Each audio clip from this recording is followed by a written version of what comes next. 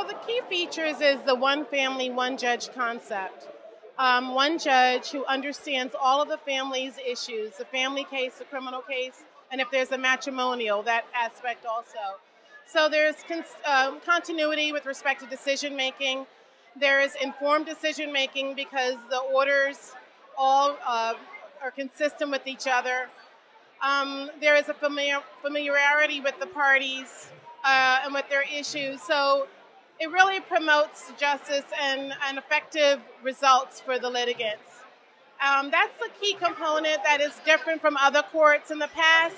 Litigants used to have to go to one court for, for example, a custody order, another court to get an order of protection on a criminal case, and a, still a third court to get divorced. And these courts were issuing orders that were inconsistent. They weren't speaking to each other. So IDV um, seeks to solve that issue and solve that problem